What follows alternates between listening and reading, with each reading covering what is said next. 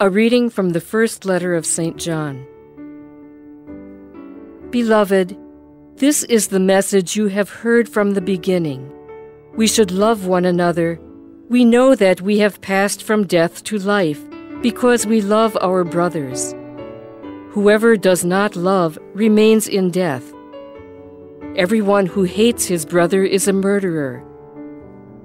The way we came to know love was that he laid down his life for us. So we ought to lay down our lives for our brothers. If someone who has worldly means sees a brother in need and refuses him compassion, how can the love of God remain in him? Children, let us love not in word or speech, but in deed and truth. The Word of the Lord.